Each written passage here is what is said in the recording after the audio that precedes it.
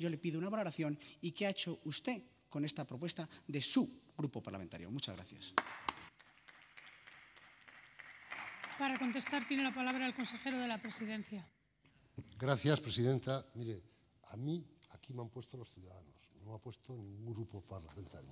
Igual que usted. Yo soy procurador igual que usted y me han puesto los ciudadanos. Algunos más que usted. No digan que no es verdad también eso. Es que todo no es verdad. Hombre, yo soy procurador como usted.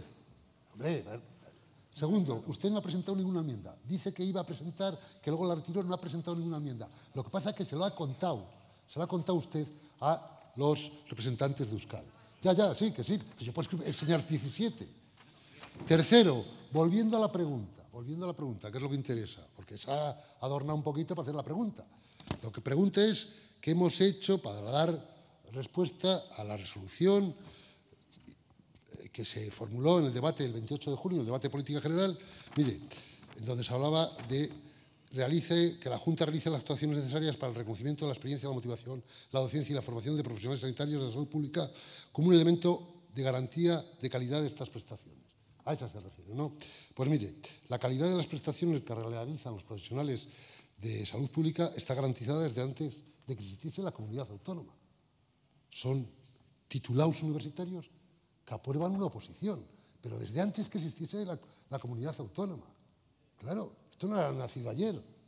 Pregúnteselo al, secretario de la mesa. Es de la escala nacional, si no me equivoco. Esto es mucho antes.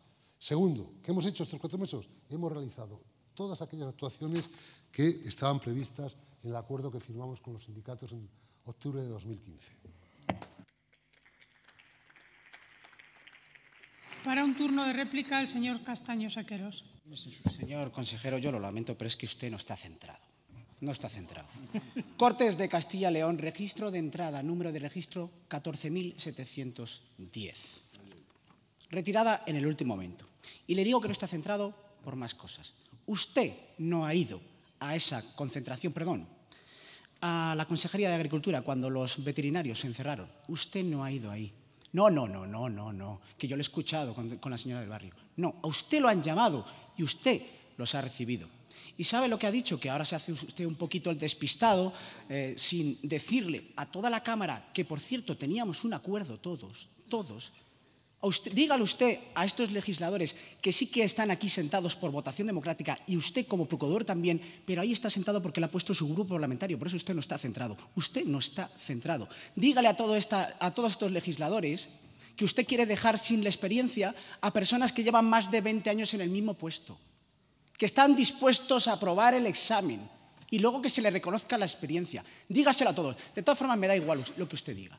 Mire, mañana mismo el sindicato Euskal trae aquí un proyecto de ley, un proyecto de ley muy parecido a esa enmienda que presentamos, que por cierto es suya, que por cierto el Grupo Parlamentario Popular acepta y lo verá mañana, y el resto de grupos parlamentarios también. Y este legislativo, señor consejero, le va a enmendar la plana a usted. Muchas gracias. Para un turno de dúplica, el consejero de la presidencia. Usted está centrado. Fíjese lo centrado que está el señor Castaño, que dice que un sindicato, el sindicato Euskal, va a traer mañana un proyecto de ley. Será. Ah, bueno, bien, ha dicho un proyecto de ley. Centrado, está centrado el señor Castaño.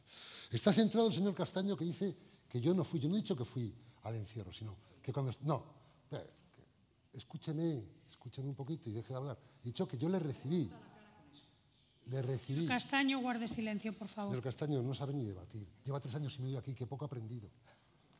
Qué poco ha aprendido. Yo le recibí, es lo que he dicho, y lo mantengo. Porque había dicho la señora del barrio que yo no me enteraba, que no les había recibido, que le recibía a mi viceconsejera.